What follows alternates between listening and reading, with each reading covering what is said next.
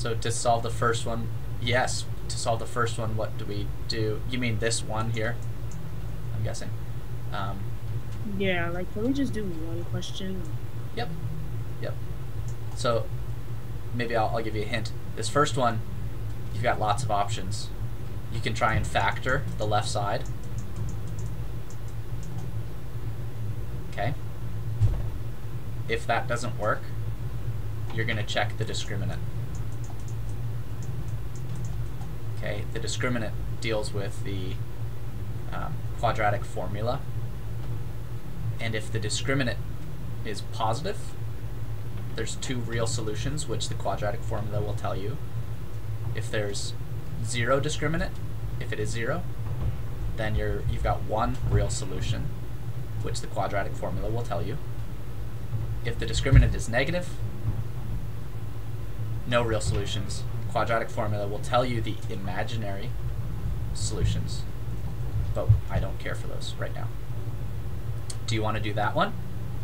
Or, problem two, uh, you're going to have to use the definition of absolute value to say that this is either 4 or this is negative 4, and you're going to solve. Solve both of them. You're going to get two solutions. You'll get 11, and you'll get 3.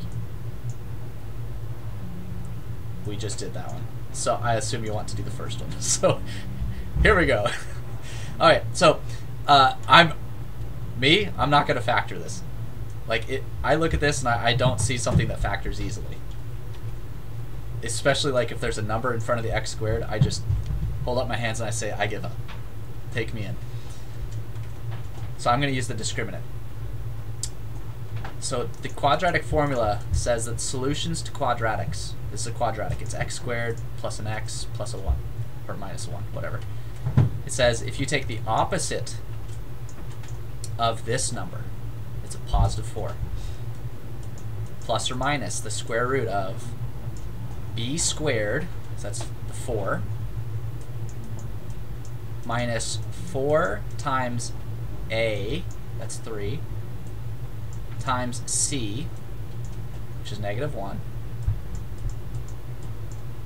and you divide that all by twice a.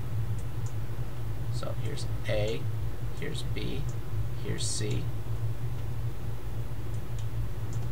These numbers, whatever you get here, this is the solution to the quadratic uh, set equal to 0. This is just a fact.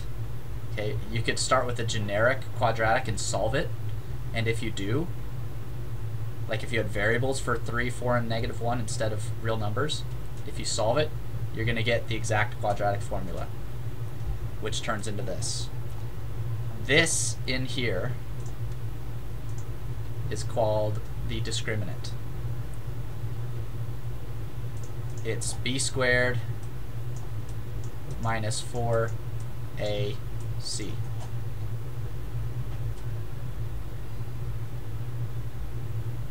So it's under a square root in the quadratic formula, which means if it's a positive number, we have we have something we can compute. And we have a positive number here. This is negative 4 plus or minus. Sorry, I'm going to shift this down. Um, negative 4 plus or minus the square root of 16 plus 12 over 6. What is that number? I don't know. It's negative 4 plus or minus the square root of 28 all over 6. You could simplify that a little bit more. Uh, square root of 28 is 2 times the square root of 7. Right, 28 is 4 times 7. So you could take the square root of 4 times the square root of 7 and you get the same square root of 28. So this is negative 4 plus or minus 2 root 7 over 6, which simplifies the negative 4 and the 2 root 7 both have a factor of 2, just like the denominator. So in this case, because they both have that factor of 2, you can cancel it out. Okay, what is this number? I don't know. It's irrational. It's some non-repeating, non-terminating decimal. But these are the solutions. This is also why I would not try at first glance to factor any quadratic that I see. Like this this 3, I'm going to stay away from factoring. I'm going to go right to the discriminant. And if the discriminant's negative, I'm going to stop altogether and say there's no solutions. If it's 0, you're going to get your solution right here. One solution. If it's not 0, you're going to get some crazy irrational solution that might simplify down, maybe not. And this is it in this case. Okay? Questions on that?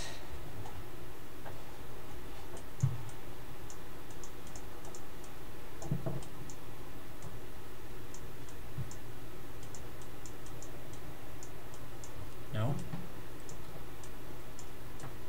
Okay, so this is the quadratic formula just in general. If you've got ax squared plus bx plus c, this is the quadratic formula that tells you the solutions to setting that equal to zero. So that's for any quadratic.